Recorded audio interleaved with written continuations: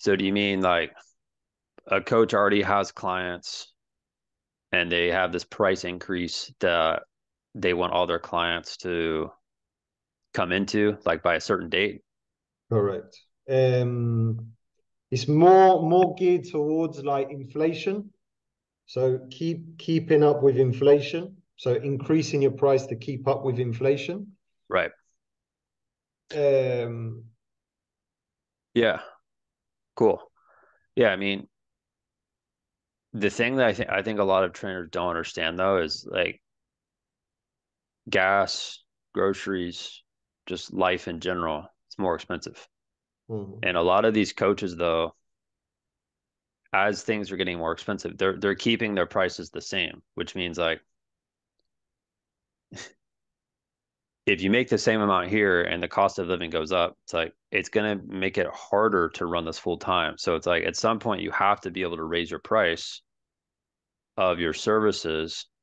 If everyone else is doing it, it's like there's no shame in raising your price. Like in every industry I have seen, like Yeah. lawn care, everything. The the price has gone up for everything. Doesn't matter what the industry is. So uh, a coach has to be able to increase their price, but I I know why people don't. It's because they're afraid that if I raise my price, my clients won't follow me, or if I raise my price, new people that could work with me won't do it because I'm not confident with that price. Mhm. So that, in my opinion, like the feedback I get from coaches when we talk about price increase, it's that, and they think that that if I raise my price, my current clients are going to leave because they they don't think they'll be able to afford it. But the reality is they haven't even ever talked to their clients about the new price, about what's included with the new price. So it's it's more about like packaging up whatever the new offer is like nice and neat so the current clients can better understand why it's going to be this much um, and even the the simple fact of just telling your your customers yeah like inflation's happening like we're our price is going up like it's okay to just be honest with people Yeah, like yeah. nothing nothing wrong with that uh people get it um Mm.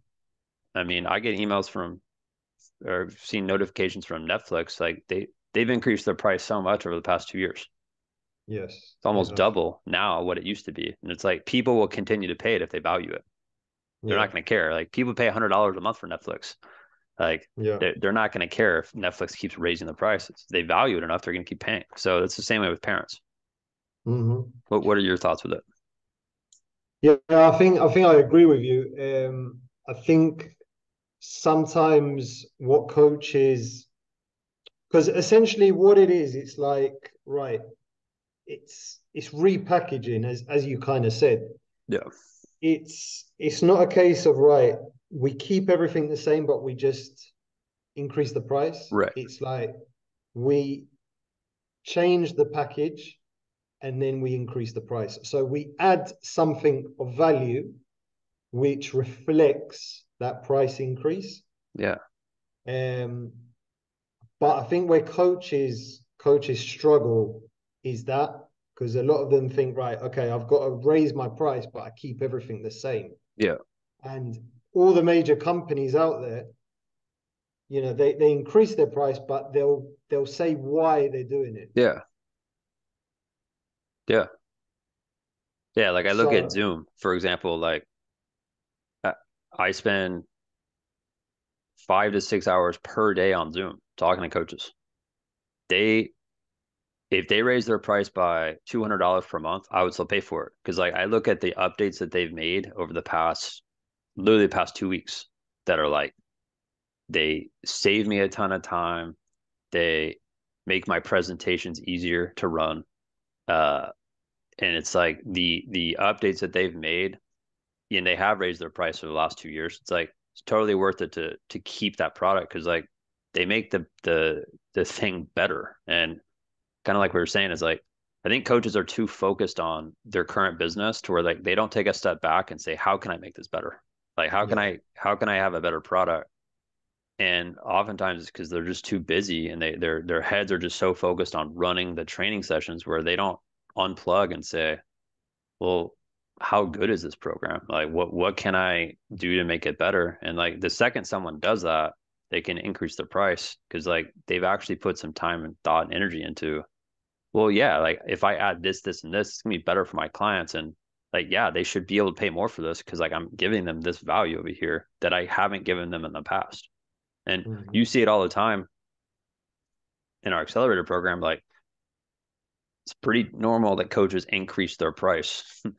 uh when it's all said and done because like they're that's where they finally take a step back and say all right like yeah if i add this, this, and this, like not only is it going to be better for the customers, but it's like it's going to be better for the business long term because now these these folks are more committed to the process that we have versus just paying per session or whatever the most coaches are doing right now.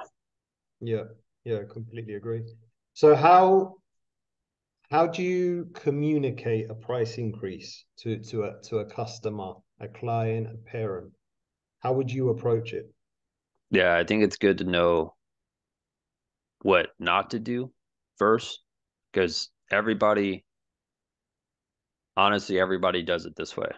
They'll they'll go on Google Docs and they'll draft up this email and it will the email will look good. It will have the information and then they'll just send it to everyone. And the problem with that is like the average person right now can't focus on anything for more than five seconds. So if you send this long email, even if it's perfect, if you mm-hmm. send it to 100 people, I would probably expect 20 to 30 people to actually open the email. Out of that, maybe five people read the whole thing.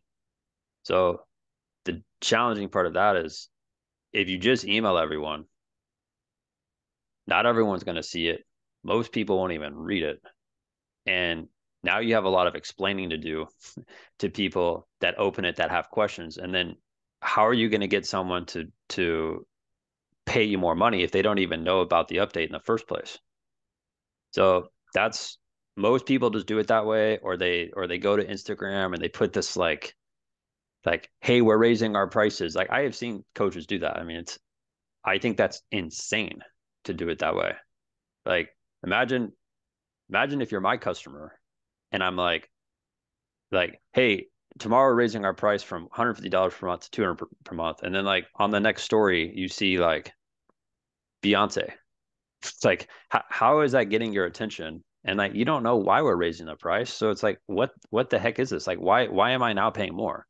So you would have questions about it. Um, so the way people do it is very off and like mm-hmm. this business, it's it's I mean, in my opinion, it's a relationship business. It's like yeah. you have to be able to actually like take care of your customers and talk to them and tell them what's going on and like lead them. Don't don't ask them if they want to do it. Like tell them why this is happening and tell them certain date this upgrade is happening. And like I mean, we have a whole script on that in the accelerator mm-hmm. program. But like mm-hmm. it has to be delivered either one on one, in person, or over a Zoom call or a phone call and I have seen some people literally do that with over 200 people in one week. Mm-hmm. So mm-hmm. if you're watching this thinking, oh, I have 20 people to talk to, good. Like you have 20 people that are paying you right now. Like take care of your customers and actually yeah. talk to them. So it's like, can't avoid that. It's mm-hmm. got to talk to people. If you send the email or you do the Instagram thing, expect it to not work. Because like I have yet to see anyone who tries to make that transition doing it that way, where it's like, they've converted all of their clients over the new price. Like it's not going to work that way. Yeah, yeah, yeah, yeah. It's it's I think it's also a case of knowing your customers. Yeah. Um, which I think a lot of coaches probably they don't know their customers. Mm-hmm. So like, and w- when I say knowing your customers, it's like knowing them on a deeper level. Um, because raising your prices can affect people. Hmm. Obviously, mm. you know, there's the, your customers are all going to be at a different financial stage. Mm. So that that could become a massive issue for them. But goes back to what you were saying, it's about communication, right? So mm-hmm. if you mm-hmm. communicate it in a way and talk to them, you know, get on that call, speak to them, then you can. That could be the difference of of them leaving, yeah, and of them staying because you know something something that you're very good at and i've been working with you for a while is is obviously having different payment options. Mm-hmm. Mm-hmm. so essentially it's not like the customer's paying less. Right. It's just you're spreading out the cost. They're still paying what they're supposed to pay mm-hmm. but it's helping them uh, with a payment plan. Right. Yeah. Um yeah that's that that's where too like if you let's say you've had a customer for three years and they're on that loyalty package where like they they're still paying less than everyone else and, and you want to tell them about the new price like i feel like a lot of coaches are they're so uncomfortable just telling people how it is and like mm-hmm. if someone is that scared to approach a parent it's like cool. Well, maybe you still give them the old price, but like they have to be more committed. Like they, they need to sign like a 12 month agreement, not this like pay whenever you want type of thing. And mm-hmm. um, that's where I, I think, I mean, I when I think of the most successful coaches I've ever worked with, the one thing that they all do is like when they make a change, they just confront it head on. Like they don't yeah they don't take forever. They don't dilly dally with parents. They don't text and, and send these weird emails that have the updates. It's like they're just very upfront with their customers. Yeah. Um, and they don't back away from it. And that's that to me is the difference between someone that like is fully committing to make make like a real change in their business versus someone who just kind of wants to do it and they, they just want to float by with an email. And I don't know, man. I, I see people get penalized when they do things halfway. That's why uh, that's why it's like I would rather you not do it if you're gonna do it halfway than because uh, like you're gonna be better off not doing it versus just trying to do it halfway. Mm-hmm. Mm-hmm. Like it. Like yeah. it. Cool. Yeah. Question for you though, like the because I, I think about this probably more than I need to. um, but sounds sounds worrying. yeah. So let's let's take the the coach that you know their business has been very stagnant the last two years. Like yeah. they they have clients. They're like let's say they're doing it full time. They're busy. They're they're always training kids. Um and you know they have this important change that they're trying to make in their business. Uh, but they've put it off. They they've delayed they know what they need to do, but they just won't do it yet. Um, like outside of the strategies that I just talked about, like what if you're talking to someone on a Zoom call and they're like, yeah, like you know, I, I, I know I need to do this, but like, and they know how to do it, but they just haven't done it yet. Like what, what can you tell that person that's just they they've just been on the fence the whole time? Yeah, and they're still coasting in their business, still doing the same thing that they were doing two years ago how do you get that person to come to grips with finally making the change? It's about c- confronting the beast. mm-hmm. um, yeah, I mean, you know, I think I think at some point it will. If you don't confront it, it will, but it will come back to bite you. Um, mm-hmm. And it it doesn't even have to do be with like obviously we're talking about business, but in, in your personal life as well, if there's something that you haven't confronted or, or you haven't changed or you haven't done, it's always going to be at the back of your mind. Right. You're always going to be thinking about it, right? Whether that be, I don't know, following up with a parent or mm-hmm. getting rid of a bad uh, client, mm-hmm. right? Just something that just keeps you keeps keeps you thinking mm-hmm um, you know, if you don't confront it, at the end of the day, it's like it's never going to leave you. So mm. it, it is it's tough. It's tough because I can think of a few examples when with, with my with my business, um, but you have to you have to prioritize, and I think you do have to, as I said, confront it and take care of it because if you don't, then it's just it's just going to distract you. Mm-hmm. Yeah. Um, and and I think sometimes I think what we we do as humans, we always think the worst. Um, and I think it's just natural. Like as business owners, we think, right, if if I say this to a parent, they're going to get angry with me and they're going to leave me. Mm-hmm. Or if I don't address this issue, it's going to get worse. Or just something like that. And we just expect the worst of Mm-hmm. things. Mhm.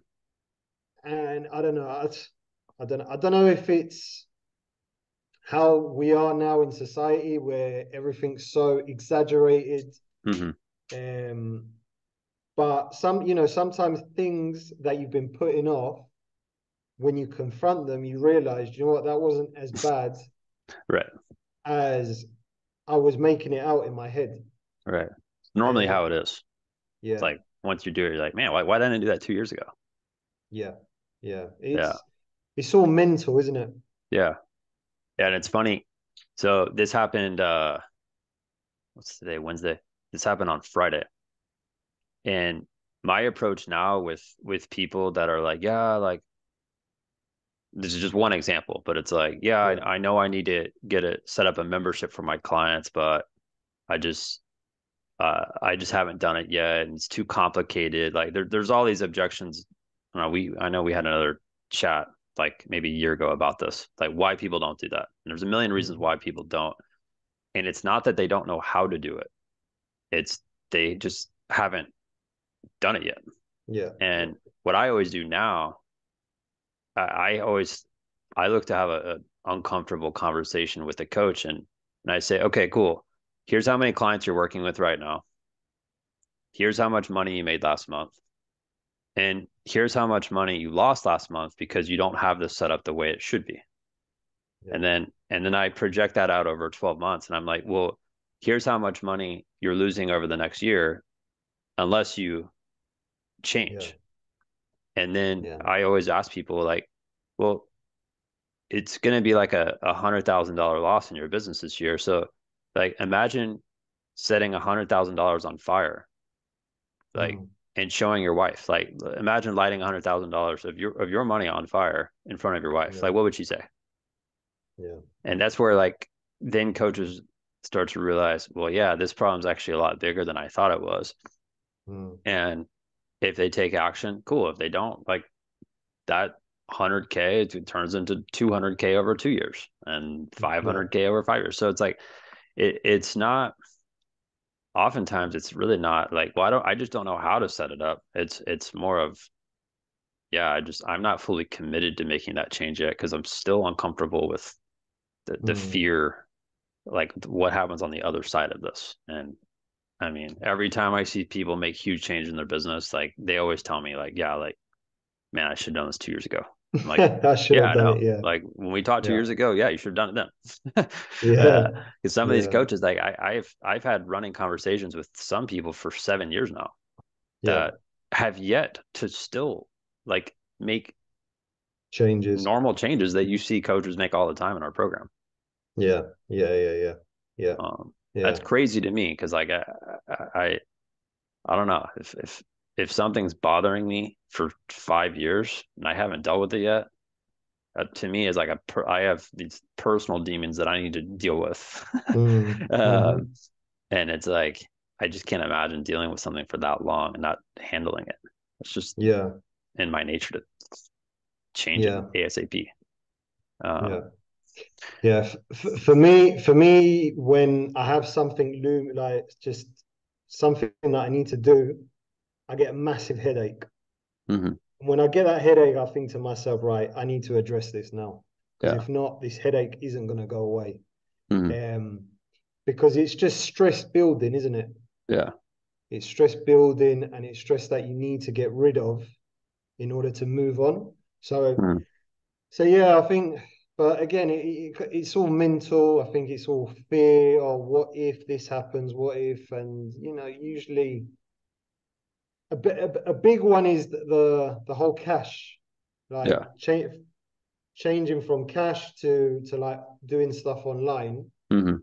um, where coaches are, you know, still operate that cash type of model, but they lose so much money every week. But it's like, I know I'm losing it, but I don't want to change. Right. It's in their mind, it's still working because they still have some people paying them. Um, yeah. Yeah, I always go back to, I don't know if I've ever told you this, but I always think of this. Um, this happened in 2018. So at that point, I was, I had this really nice high school. They had this turf field that I used to train from. Uh, that's where I was running my business from at the time. And there was this guy, he was like this speed and agility trainer that was out yeah. there. And the first day that I ever saw him, like he had a ton of kids out there. I was like, wow, this guy's like crushing. Yeah. Uh, he had probably 30 or 40 kids out there. I mean, like they were taking up most of the field and I was on this other side and, and we had our kids that we were training, but I was noticed that he had a ton of kids there. And it was funny because like the next week he had like three kids there. Yeah. And and I was watching him like when I was wrapping up my session, I was watching him like he like picked up his stuff, he walked over to the parking lot and the parents were there to give him money. And in my head I was laughing because I was like, man, that's what I used to do. And I was like, yeah. well, man, like he just lost a ton of money today because like last week he had all these people. This week he only had three kids. And I was like, you know, let's just say he charged twenty dollars per person. I'm just using that as an example. Like, yeah. cool. Today he made sixty bucks, but like he actually lost twenty seven times twenty, which is like I don't know, close to six hundred dollars. Like he lost six hundred dollars yeah. a day because he doesn't have one simple thing set up in his business. Yeah.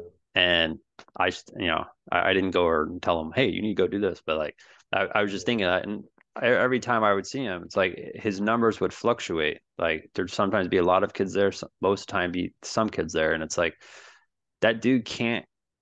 Like running a business is already stressful in itself, but like that dude can't do this full time because it's not predictable. Yeah, that's yeah, killing him. Yeah, and uh, yeah. you know, he, I only saw him out there for six months, and then that was it. I can guarantee you that was one of the reasons why he went out of business. And yeah, great trainer, probably way better trainer than I was. Uh, yeah. just didn't have that little thing that makes a huge difference. Yeah. So what? Why do you think coaches don't change that? Because they, um, like people know, right? People aren't stupid. They know that that doesn't work. Right. right? Any coach out there listening or watching knows that right i'm running my business like that like we're talking i know that i'm losing money i know that i can't do it full time because of the reasons you just said but why do i keep doing it because they think this is what i figured out and i mean i don't care how this comes across because I, I know at this point i know it's true they think that because they're a really good coach that they're going to find a way to succeed. That's false. They they think if I just focus on how good of a coach I am, like have you watched Field of Dreams? Do you know what that is? Yes, Field of Dreams. It's yeah. like if you build it, they will come. That was like a whole part of that movie. And yeah. that's like the worst mentality to have hmm. because yeah, you can have a business. That's that's great. Anybody can start a business now. But like knowing how to run the business is very different than knowing how to coach and train kids. Yes. Yeah. And I mean, it sucks to say this out loud, but like if if I take two people and one guy is like a great coach, like awesome, great with kids, um, good communicator with parents, good at marketing. Uh, like the sessions are fun. Uh, like he has like the coaching side down, communication down. Yeah. And I take this other person that like not the best coach, like maybe not the best, most entertaining person at their sessions. Um, maybe they're not even that great at marketing. But if I take the first coach and he doesn't understand business, and I take the second coach and he does, that second coach is going to absolutely smash the coach that is really good at coaching because he has his stuff dialed in. Like, yeah. and I've seen this man. Like, I've I personally know people in my area that played professional, much better coaches than me, Like Yeah. when I when I would watch their sessions, I'd be like, dude, I wish I had that like energy, that like just the command of the session. Like like I would look at things and be like, man, like how is this dude not crushing it? Yeah. And it was because like they don't have the business side down. And you could be the best trainer in the world. If you don't understand what you're doing in your business, like Mm. you're going to think you can just power through by being a good coach, but like that's that's not how business works. Business is not just reward the person that's a good coach. Like, Mm. and I see too many people skate through and skate by yeah. because they rely on how good of a coach they are. And dude, I know people that suck at coaching that are incredible business owners that are making six, seven figures. They're, and they know they're not that good at coaching. Like it's Yeah. they they will admit it. Um, and I'll Mm. even tell you, like I like if I put my ego to the side, like I know that when I ran my training program, I was I was probably if I had to rank myself, probably like in the top 10 in my area as far as coaching ability. But like if I put numbers on on the table, my academy versus everyone else's academy, like my academy there was a point where my academy had more players than most clubs in my area. Yeah. And Yeah. I will tell you, it wasn't because of how great of a coach I was. It's like Mm. I'm I'm willing to admit I, I wasn't the best trainer in the world. That's just Yeah.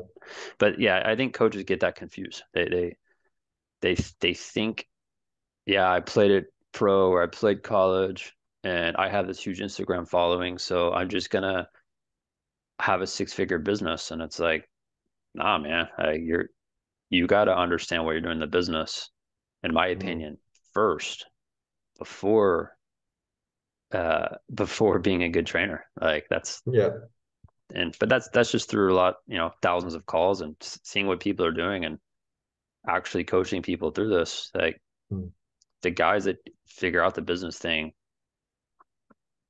then their coaching becomes more magnified because like they, they they can help more kids and they Yeah. have committed customers, not flaky parents that just call them like they're Domino's Pizza, which is Yeah. normal. That is right right now. That's normal. Parents do that. Yeah. they, Yeah. Yeah. they order a a skills coach for a day for an hour whenever they want and that's why like there's a huge gap between like 90% of all the coaches and 10% of like people who are killing it that make Yeah. more money than doctors attorneys engineers like and then there's everyone else and it's Yeah. because like everyone has that mentality uh, Mm-hmm. Mm-hmm. but people have to outgrow that or they have to learn it at some point otherwise it's going to be a short career Yeah, hundred percent. Yeah, no, I I agree, and I think it also comes down to how you are in your personal life. yeah. I So mean, how you are in your personal life will depend on how you run your business.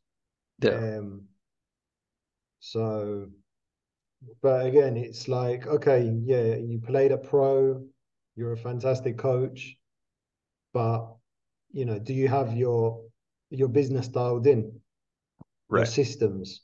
Um, are you willing to learn as well? right. Are you coachable? Are you you gonna try something new that works that Yeah. will help you and no man you're spot on like that's why i mean i spend extremely little time on instagram but i mean it's shocking like some of these and i don't want to like hammer people when i say this but it's like some of these coaches are so obsessed with themselves to the point where like yes they can make money in this business but they're they're trying to portray this lifestyle of a rich and famous person when in fact they're not rich. Uh they're trying that you can look famous on instagram. Anybody can. I mean i, I could go i could go right now and buy a hundred thousand followers for like 20 bucks and have all of those people be bots and, and make it look like i'm the super famous dude when in reality i'm just like normal guy. Like uh Yeah. but that's where like especially younger coaches i see they they fall into this trap of like oh, I need to make money really quickly. And then when they make money, they're just like they're reckless